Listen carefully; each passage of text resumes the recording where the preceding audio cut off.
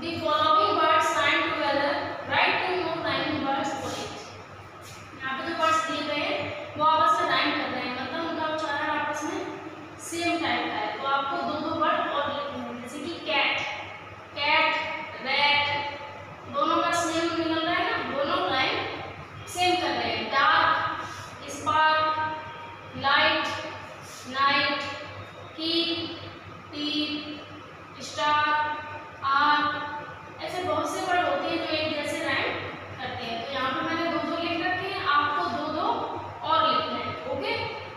मध में